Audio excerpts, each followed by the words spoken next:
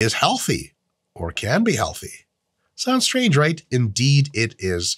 So it turns out obese and healthy at the same time is a real category of people. There are actually obese people, very, very many of them that are perfectly healthy. And research has confirmed that tons of, especially young obese people, have great blood work. Blood work you can't tell apart from anyone else at any size. So we're tempted to be like, wow, holy crap, it is really possible to be obese and healthy. Problem it does not last.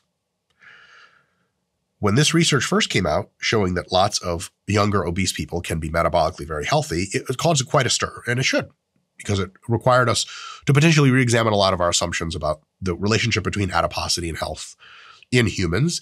The thing is, shortly thereafter, similar research came out that mere years later, those same exact metabolically healthy obese people are no longer healthy at all. And the thing is, when you get people who are not obese and they're metabolically healthy, five or 10 years later, the average person in that group is still metabolically healthy. However, with the obese that were meta- metabolically healthy, within five or 10 years, those same people are predictably almost always in much, much worse health. So we could say, well, hold on a second, what happened? And what happened is the following the behaviors particularly overeating and underactivity, and eating the kind of junk foods and stuff that make you obese, the behaviors to make you obese, and the fat tissue itself, because it all, all sorts of nasty hormonal effects on your body, impose a chronic cumulative cost to your body systems. And that means if you're in a state of obesity, even if you're healthy now, there's an underlying degradatory effect on that health. So there's a cliff sliding down sort of thing. Where if you're not obese and you're healthy, you just kind of generally tend to do this for a long time. When health problems get bad with obese people, they usually get real bad because the system is already in a very precarious state. And when it starts to slide in health, a lot of times the rest of it goes. If you happen to be obese and healthy, and if you're watching this, now is the time to think about starting to reduce your level of obesity, to lose some fat, so that you can stay healthy in the long run.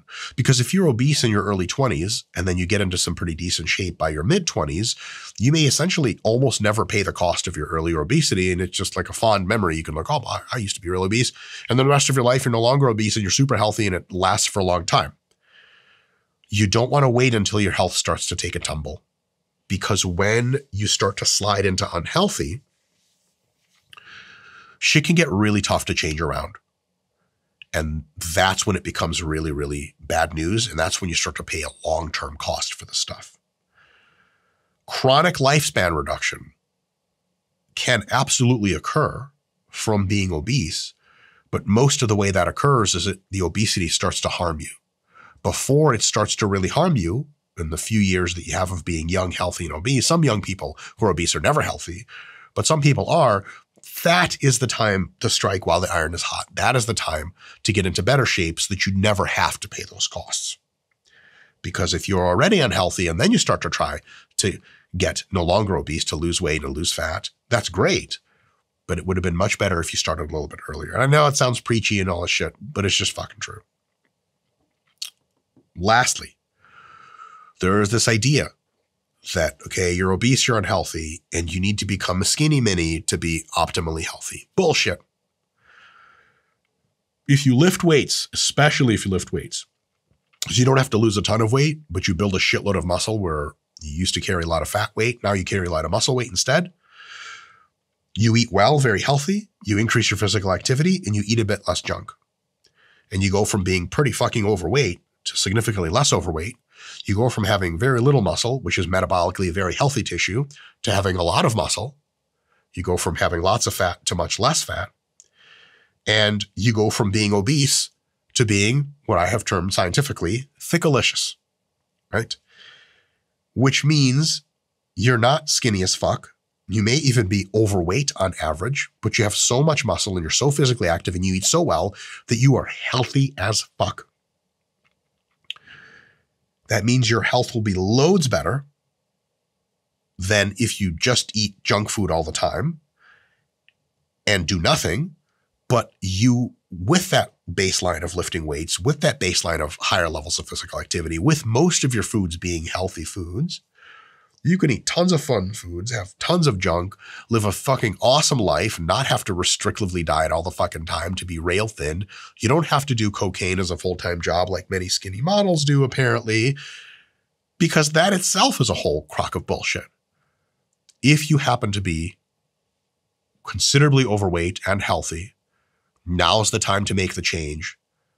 Highly recommended to start lifting weights, ease into it. You got all the time in the world eating healthier, being more active, and not even so much worried about the scale, but just getting the body fat levels to come down significantly over the years, getting the muscularity to come up over the years. You are going to be so much better off that it's going to be night and day.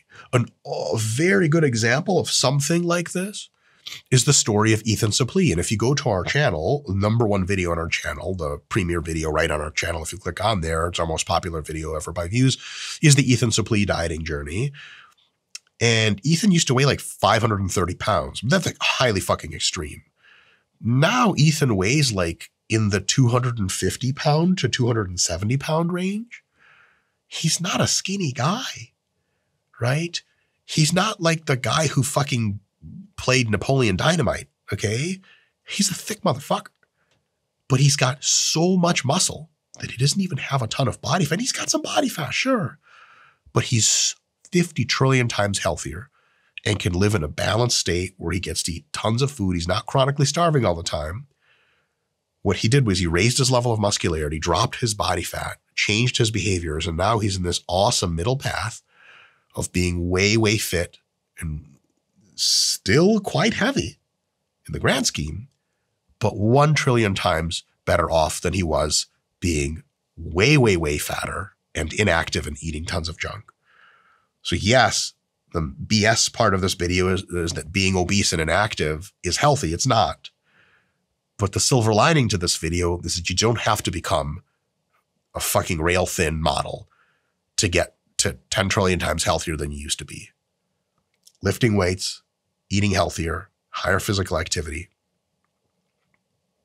and you are well on your way to way, way better outcomes. And if you want to be thinner aesthetically, sweet, that's definitely possible. But if you just want to be someone who lives their life and looks good and feels great, there are so many correct answers of where you could end up, but all of them start with resistance training, healthy eating, higher levels of physical activity. Do you want more advice on how to do that? Shit, that's the whole fucking channel and company's about. RP, we got all the answers. TM, because we don't have that's just a trademark. In any case, folks, let me know what you think. And if you have any follow up questions, we can always make more videos attacking individual subjects. Thank you so much for tuning in, and we'll see you next time.